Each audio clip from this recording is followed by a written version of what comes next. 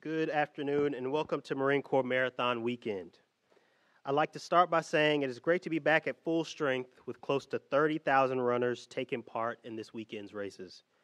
I'm Captain Michael Curtis, Marine Corps Base Quantico's Communication Strategy and Operations Officer, and it is my pleasure to be with you all today.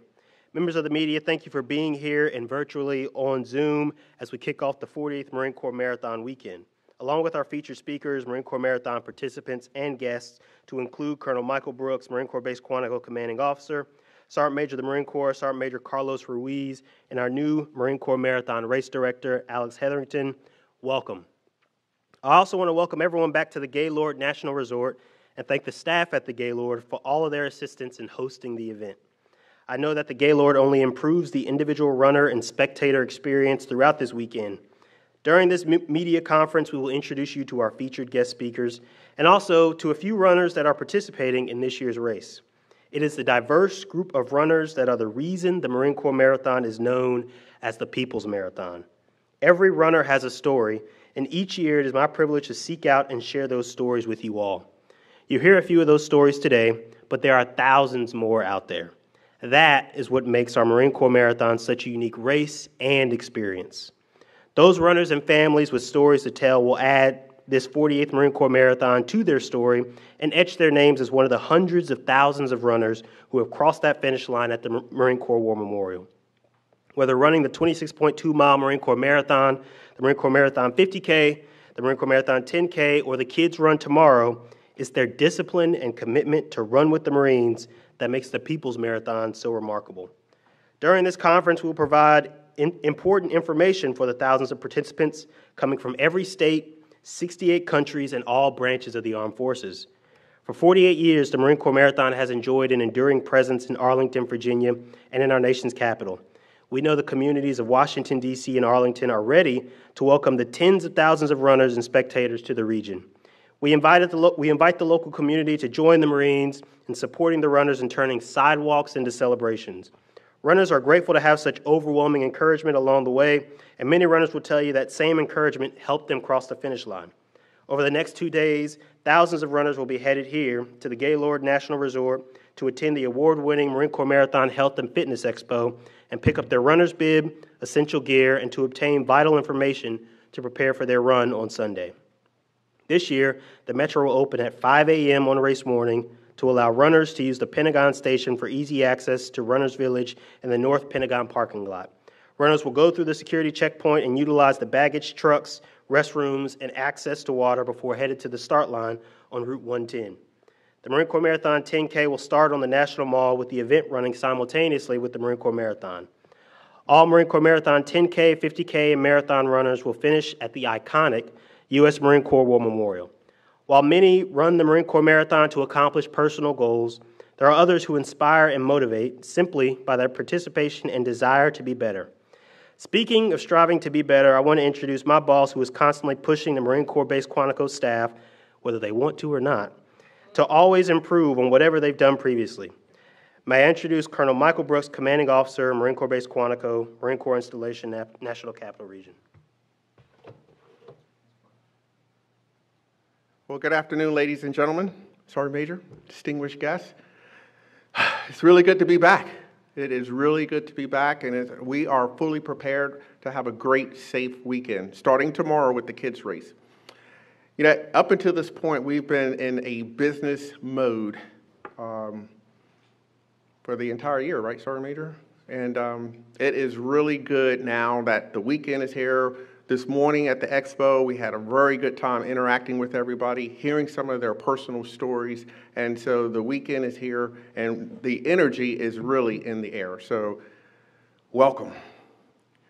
Um, this is an important event for us because it allows us to maintain meaningful relationships, partnerships with our local communities who do a lot of things for us. They support us in just about everything that we do. It affords us the opportunity to serve and interact with them, uh, with the men and the women and the children across all of America uh, who may have not never had an opportunity to interact with Marines, uh, spend time with Marines, had an experience with the Marine Corps. And this opportunity this weekend gives them exactly that. This is an opportunity for all runners and spectators to get an up close look at who we are as Marines, to see the professionalism, the discipline that each Marine embodies. But it also uh, see that the men and women who represent it allows them to see the men and women who represents them and represents America. Those men and women who have made a commitment themselves and they have sworn an oath to serve and protect the Constitution of America against all enemies. This year, at the suggestion of our new race director, Alex, who I will talk a little bit more about later, uh, we started applying different themes to some of our races throughout the year to pay special tribute to our history. This year marks an opportunity for us to remember those who sacrificed it all in Beirut, Lebanon in 1983. The sacrifices made by those men and women and their families should never be forgotten. And in that same manner, we believe it is important to take the time uh, at our event uh, to pay special tribute to them, to remember the 220 Marines, the 18 sailors, and the three soldiers that lost their lives but also remember their families because they sacrificed as well, and especially on this year, which is the 40th anniversary. Today we have Mr. Mike Chard, um, the, an Army veteran who served in Beirut from June 1983 to eight, uh, April of 1984, and he will also be running the marathon this year in honor of the Beirut Veterans Association. So, sir, thank you so much um, for being here with us this weekend, and thank you so much for your service. As the installation commander, uh, for Marine Corps Base Quantico, Virginia, I have a unique, uh, I'm in a unique position to be able to kind of see all the actions that Alex and the team puts into this. Um, it's good in a lot of ways, and in some ways, it's, it's kind of frightening is the amount of collaboration that, that we do with our local, uh, with our local community partners. There's a whole, just a whole host of logistical, administrative, and operational requirements that the Marine Corps Marathon staff uh, worked through over the course of a year, as they also work very hard on executing numerous other races. So it's not just this race, but they do several other races throughout the year as well, both out in the community as well as on the installation. I see all the planning, the preparation, collaborations I've already stated that we are known for as Marines during these planning stages. I also see the commitment and the resiliency when unforeseen events appear. And that's when I really see the passion uh, that both the staff and the Marines have when they pour their heart into making sure that this is a successful event for everyone who comes here or participates in or support. Um, passion. Passion. Uh, but the reason that I bring this up is because what becomes very apparent in the amount of pride and care that the staff and the Marines have for the marathon and what this race means to us and the 30,000 runners and spectators who travel to Arlington, Virginia, and the nation's capital to experience what it really means to run with the Marines. This marathon means a lot of different things to a lot of different people participating in it, and it's not a race that one will run to get a cash prize uh, because we don't have cash prizes. It's not a race that one just runs just to kind of tour around Washington, D.C. and see the sights. Um, it's, it's, something much, much more, be- uh, much better than that. It's a race that one runs to finish a chapter in one's life or a, to add an additional chapter to their lives. It's to commit oneself to a disciplined training regimen uh, for however long that training regimen was and then to come here on game day, along with 29,000 other runners to accomplish the final task. And then finally, this race definitely doesn't happen by itself, and it didn't. We cannot do it ourselves. In addition to the volunteers and the Marines who support the race in many ways, it also takes support from our sponsor organizations who help us make this event better and greater every year. And it's only with the support of, the, of organizations like Leidos and our Washington, D.C. area BMW centers, two of our presenting sponsors this year, that we are able to put on a race that is consistently recognized as one of the best races in the country. I also like to, uh, to welcome one of our new sponsors, Recover, Recover Brands, our new apparel partner this year, which offers Planet approved clothing. Their support, along with Navy Federal Credit Union, Sodexo, who have consistently sponsored numerous races that we put on throughout the year. We just cannot do it without them. These sponsors, along with many more, are just so critical for us to be able to put to uh, really sponsor or really to, to host this event. It's critical. So, as I promised, I want to thank and welcome to the team the new Marine Corps Race Director, Mr. Alex Hetherington, who is a retired Marine himself and an all Marine runner who has run in more races than I. I just don't know how many races you've run, um, Alex. Um, but he understands just how much this marathon means to the Marine Corps and the people who run in it. He has taken over for our very on and very popular Mr. Rick Nealis. Uh, very hard shoes to fill, but Alex, you have just done a, an outstanding job. And, um, you know, as I walk around here, uh, even though I wasn't part of the staff prior to uh, COVID 19, uh, you have gotten us definitely back and surpassed that. So I really appreciate the hard work that you've put into it and the staff. Um, this is, this is just an awesome event, and it's good to see the excitement that's in the air, so thank you so much. I want to close by thanking and acknowledging also all those men and women, the, organiz- the numerous organizations that come together, uh, that collaborate with us, um, and, and they too put in their time, their passion, and spirit, uh, all to add to the atmosphere of this weekend. Uh, we could not do it without them. We could not do it without our our numerous volunteers, the numerous support that we get from, the, um, from within the Marine Corps. Just want to just take a little bit of time to show some appreciation to them. And um, the last thing that I will follow up with is this is the People's Marathon. Everyone has a unique story, and they continue to come and they support this event. And as long as they continue to do that, the Marine Corps will always make sure that we're there to help facilitate and cheer them across the finish line. Thank you very much.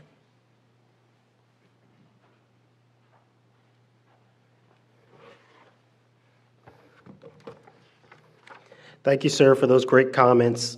As Colonel Brooks mentioned, it takes a special level of commitment and dedication to train for and complete a marathon, and those attributes are demonstrated by the close to 30,000 runners who will take on the distance this Sunday. Our theme this year is resilience, and our next speaker has shown that trademark Marine discipline commitment, and resiliency throughout his more than 20 year career. Sergeant Major Ruiz assumed his current post as the 20th Sergeant Major of the Marine Corps on August 10th. A native of Sonora, Mexico, he enlisted in the Marine Corps on November 2nd, 1993, a year before I was born, actually, out of Buckeye, Arizona. Sergeant Major Ruiz has served at every level and has deployed all over the world. We are so lucky to have him with us today. Please join me in welcoming Sergeant Major Ruiz of the Sergeant Major of the Marine Corps, Sergeant Major Carlos Ruiz. in, in November of 1993, I think you were still doing logbooks here, right? You were doing logbook as the runners and giving lollipop sticks, right? You've gone a long way. You've gone a long way, and so have I. Um, I think I'll start with. Uh, I think I'll start with who we honor this year, with Beirut and the Lebanon Marines and our friends who were there, and I'll I'll share a quick little story. Uh, a couple of days ago, the Commandant and I went to Lejeune, Camp Lejeune, North Carolina, where the Beirut Memorial is located, sir. And uh, it's not a big park, but there's a wall. The other wall has the names of, of the fallen. And uh, we drive to the place, and there's a long line waiting to be screened for security to enter the park. And it just hit me, right? It's like, wow. So the commandant gets out of the vehicle and he gets swept away. And I get to be Sergeant Major of the Marine Corps, and I don't. and uh, I proceed to go see the veterans. What do I see? So if I can image you through uh, the people that represent this country today, um, the leather vest, the USMC patches, the hats, um, uh, the gear that they wore, pieces of it. Um, maybe they're not as uh, in shape anymore as they used to. Um, so maybe a little heavier, um, a lot more hair, um, a lot of more limps, you know. But holy cow, uh, when you send out the uh, war cry of "Oorah," it was a thunderous "Oorah" back. It doesn't the spirit of service, not just about being a Marine, but just service, um, is still alive and well in this country. And uh, it made me very proud. So, to the Marines of Lebanon, to the veterans that are out there, the veterans that will be here in the next couple of days, thank you, and we need you.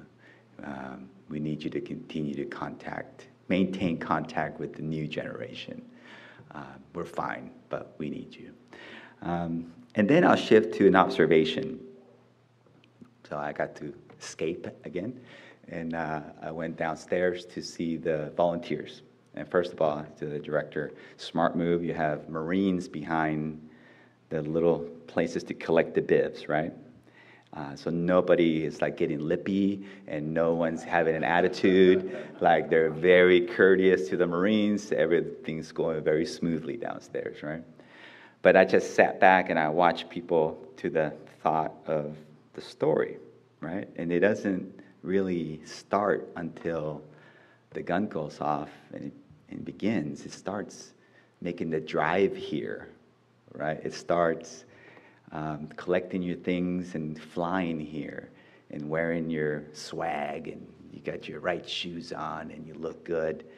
And then you enter this huge place and this is your booth to collect your bib. And you give them your name and they look you up. And then these bibs just sit in this plastic container, right? And they're very well organized. And to the people who make them means nothing, it's just a thing. But then that Marine grabs that bib and hands that bib over to that person. And then there's somebody in the background video, you know, they're, they're taking, recording the moment.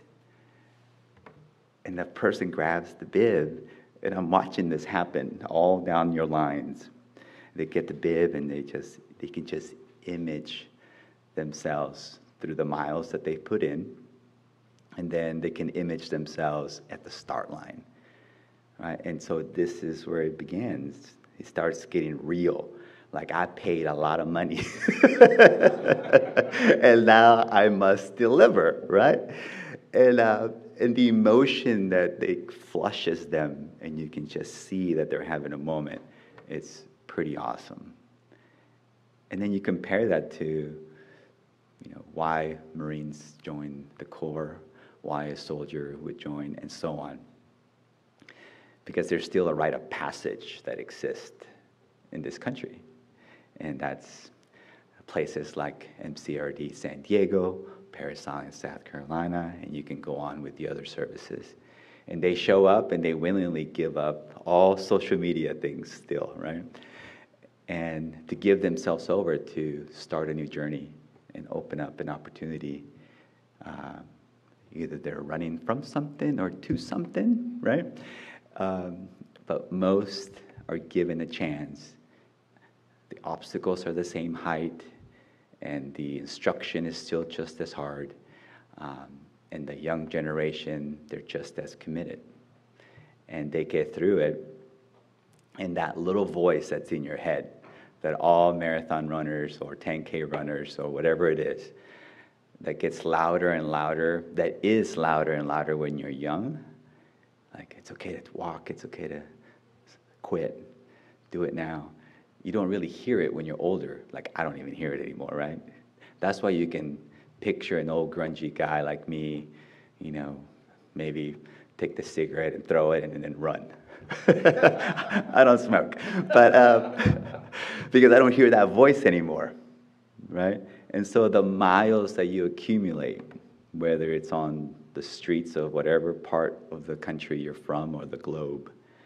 Um, it just quiets that mind, that thing telling you to stop, just gets until you can't hear it anymore.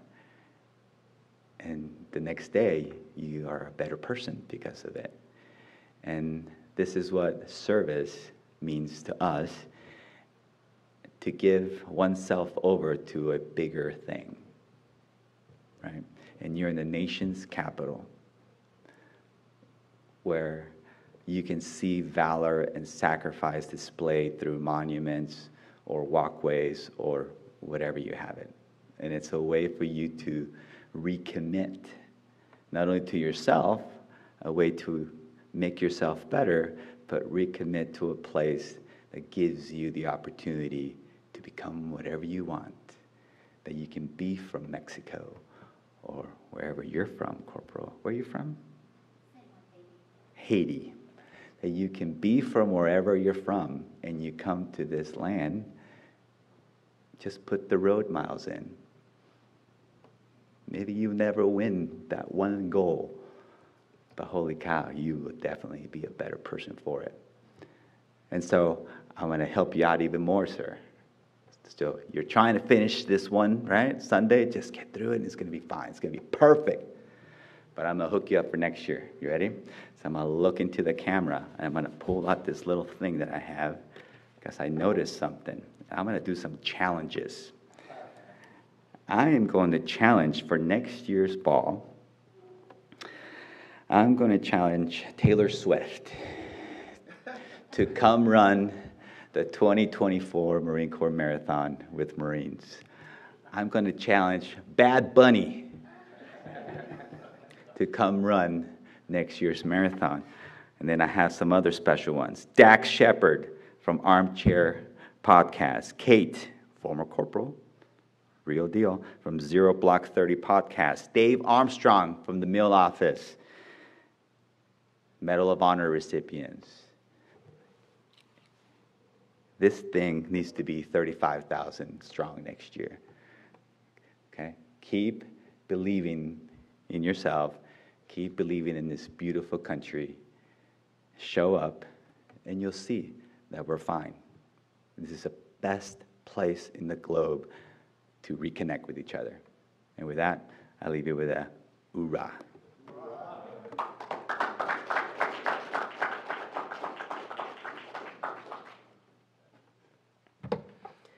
Thank you for those motivating words, Sergeant Major. Our next speaker is unique for a variety of reasons. Not only is she a motivated corporal of Marines, but she is also a twin native Haitian and has worked to emulate the high level Marines that, are help, that have helped her at critical moments in her life. Her story is what the Marine Corps Marathon is all about seemingly regular individuals running for a purpose that is more than simply a cash prize or coming in first place. She and many others like her are running for what is gained intrinsically. In that same vein, Marines around the globe choose to serve, no matter where they are in life, because they understand that same intrinsic gain that is unique to wearing our nation's cloth. So, without further ado, please welcome Corporal Madrina Jean Charles to the podium to share her story.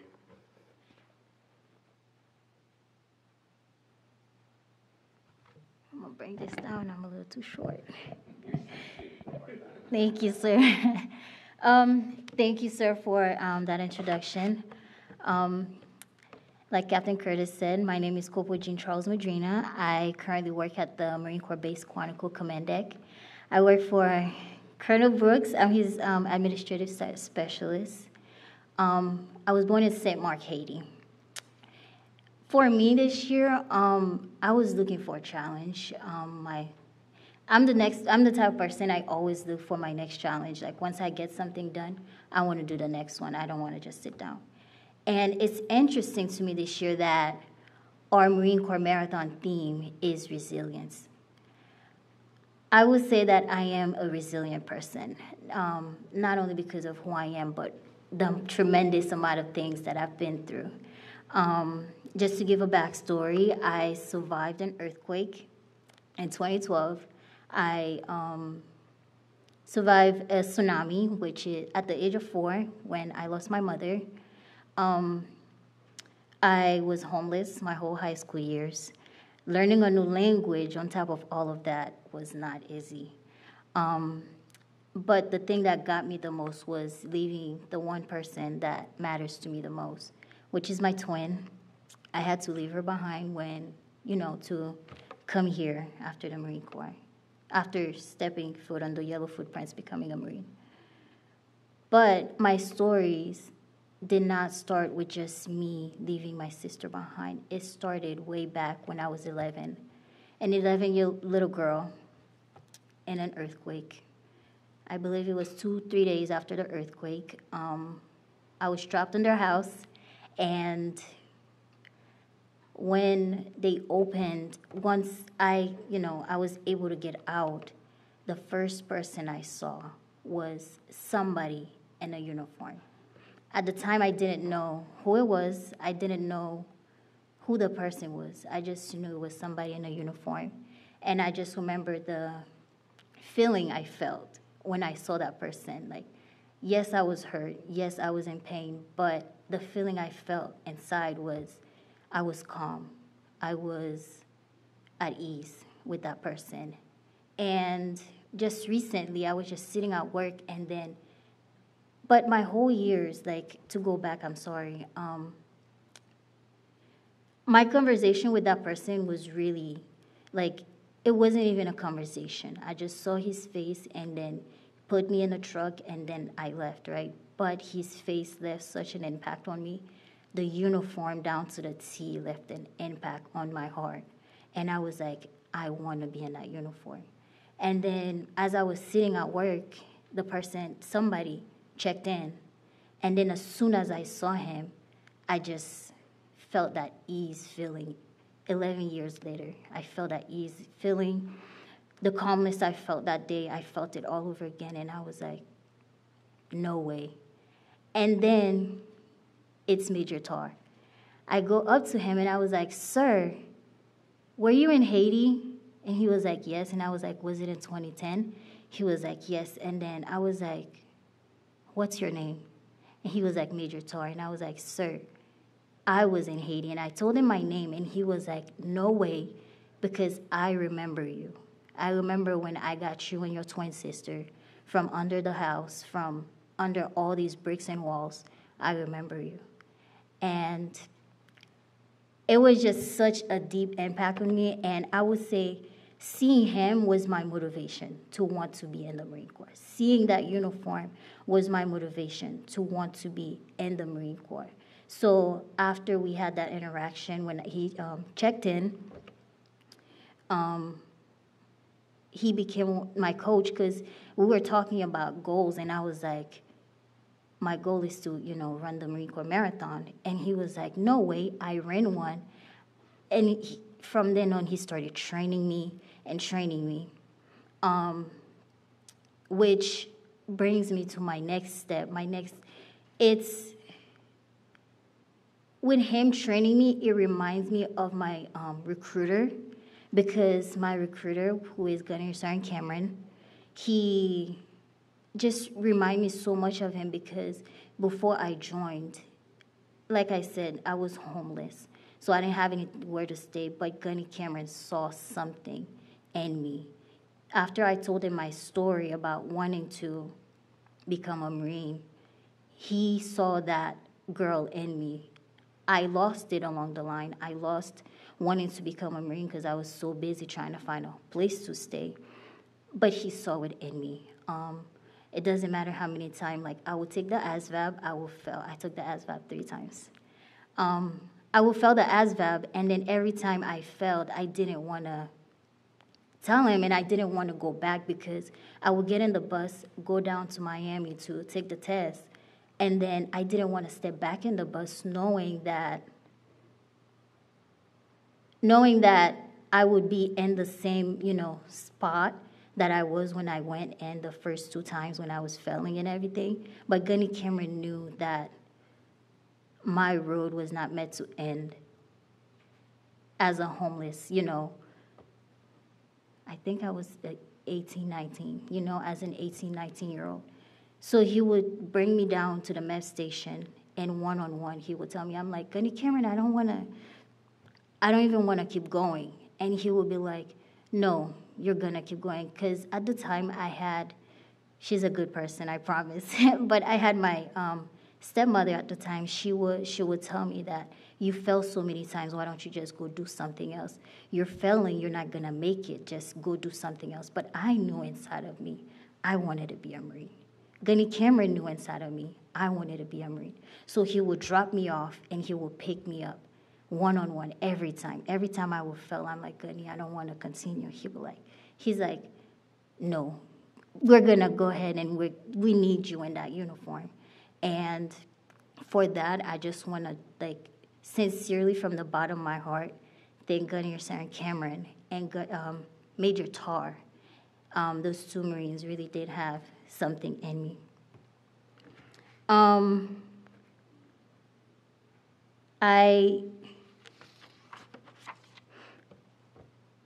I had those two Marines had a lot of impact on me, but throughout my whole years, like I've been in for four years now, they I've also met so many amazing other leaders. For instance, I have Gunner Sergeant Archila and Master Hinojosa.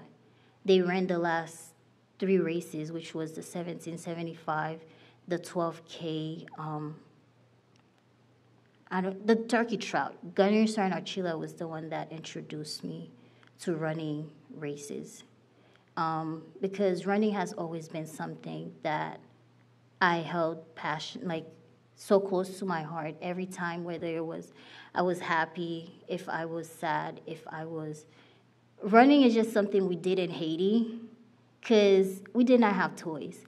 But we had running. We would run after one another. We would do all that. So running was always my scapegoat. So Gunner Sergeant Archila reintroducing that to me because because last year I was supposed to run it. I couldn't because I injured myself at boot camp. But um, with Gunner Sergeant Archila's help, it really brought me back to my true passion. Um,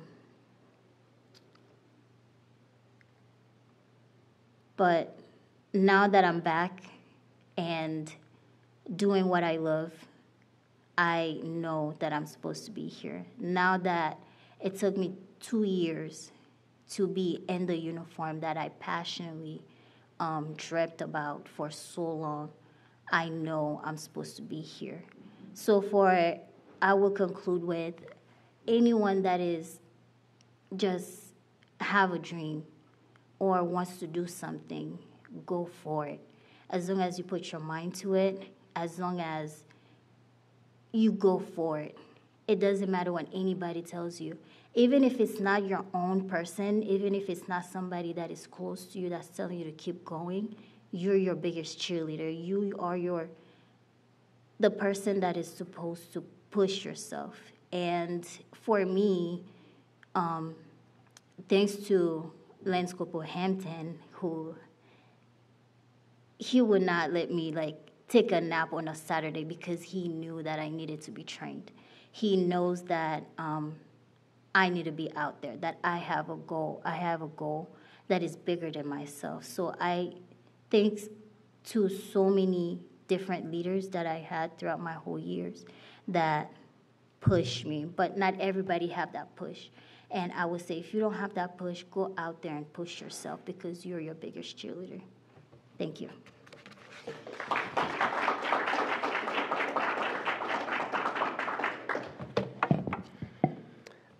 Thank you for sharing your story and being part of Marine Corps Marathon Weekend, Corporal Jean Charles. I know that your story will inspire many others to demonstrate that same resiliency when life presents obstacles. Now I'd like to introduce another runner, runner running with unique purpose. This year marks the 40th anniversary of the Beirut bombings.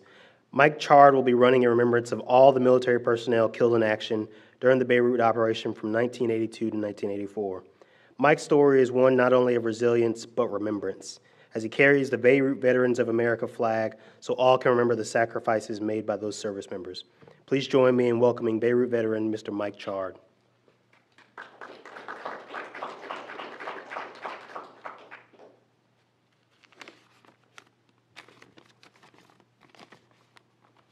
Thank you, Captain Curtis, and good afternoon. On behalf of the Beirut Veterans of America, I want to thank the leadership and the staff of the Marine Corps Marathon Organization who have been absolutely steadfast in the BVA's, steadfast in support of the BVA's mission, which is to honor and remember the sacrifices and losses uh, of American servicemen that occurred in and around Beirut, Lebanon between 1982 and 1984. I know that this year's theme of the marathon involves resilience, and if you'll allow me, I'd like to share a, a brief story that I think applies. Uh, kind of like the Sergeant Major. Uh, a number of years ago, I was down at Camp Lejeune uh, for attending uh, one of the annual remembrances that occurs uh, at the Jacksonville Memorial. And while I was down there, uh, I found myself speaking to one of the Marines who had been uh, grievously injured in the bombing at the airport and had since been confined uh, to a wheelchair. And we talked and, and visited, and it came time for us to part, and we shook hands, and then uh, that Marine, he looks me in the eye and he simply says, Semper Fidelis. Uh, so I turned and uh, was walking away, and it struck me uh, just in the few steps I was taking uh, that not once, in, in the slightest way, not once uh, did that Marine mention his injuries.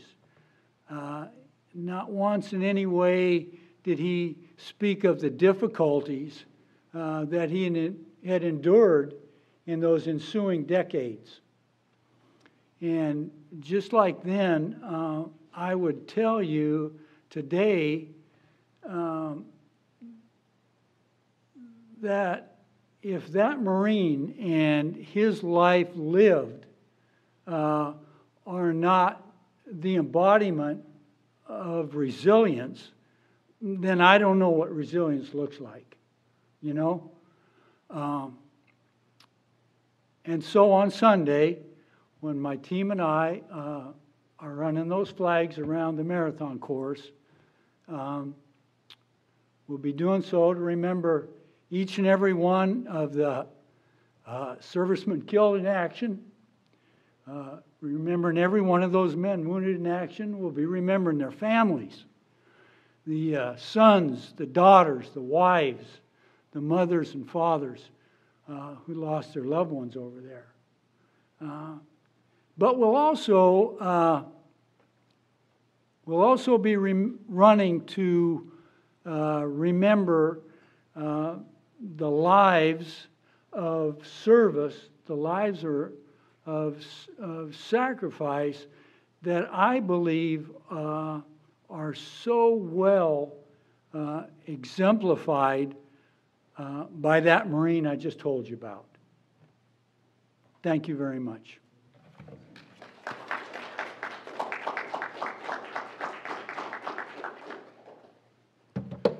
Thank you, Mr. Chard, for sharing that story. Finally, I'd like to welcome the new Marine Corps Marathon Race Director, Mr. Alex Hetherington, to the podium. Mr. Hetherington pre- previously served as the modern day Marine Military Exposition Show Director for five years. He has a unique perspective as the race director, stemming from his experience not only as a retired Marine aviator, but also as an all Marine runner who won the inaugural Armed Forces Championship in 1998. He has run more marathons than most and runs faster than your average junior enlisted Marine or officer, and takes pride in continuing to make the People's Marathon one of the best experiences for runners of all levels. Please join me in welcoming to the podium your marathon race director, Mr. Alex Hetherington.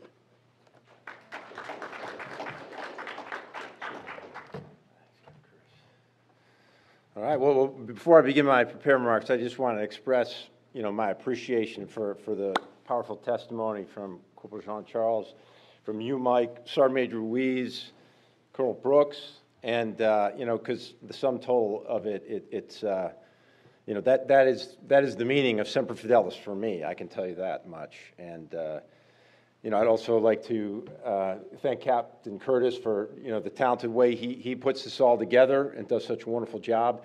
And I'd also like to say that I, I have some prepared remarks here, but uh, I, I really need to, uh, to footnote Sergeant Major Barry a little bit on this because it's, you know, it's, it's the, uh, the senior leadership goal that, you know, inspires me, and he has some great turns of phrase, and so you might hear some echoes of, uh, of things I've heard from you, Sergeant Major.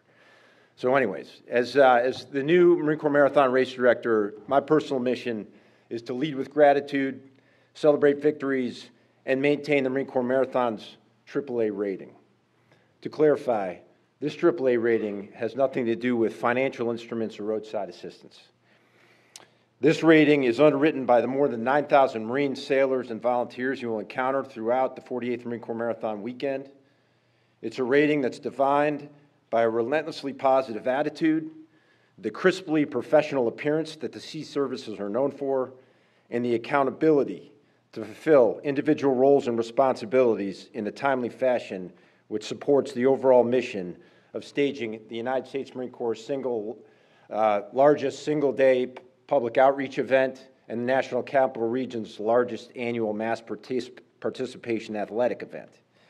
An undertaking which encom- encompasses four separate race distances, approximately 29,000 runners of all ages and backgrounds, 100 plus wheeled athletes, another 200 plus ill, injured, impaired, combat wounded, and veteran and civilian competitors, and approximately 100,000 spectators all on a marathon course that is a tour de force of the nation's most revered and iconic monuments and public buildings. Additionally, in keeping with the Marine Corps Marathon's global reputation as the People's Marathon, we are determined to celebrate every runner through the transformation of the Marine Corps values of honor, courage, and commitment into indelible individual affirmations of achievement, recognition, respect, remembrance, and rededication. For those who rise to meet this challenge, the presentation of the race's signature Eagle Globe and Anchor Medal, Eagle Globe and Anchor Medal by a serving Marine at the foot of the Marine Corps War Memorial, commonly known as the Iwo Jima statue, is poignantly emblematic of the Corps' mission to serve the nation and its people. Each Marine Corps Marathon Medal presentation is a moment of celebration, but also an implicit acknowledgement and vow, an acknowledgement of gratitude for the opportunities that freedom bestows and a vow of unwavering commitment to the values and sacrifices which have established and sustained it. Thank you.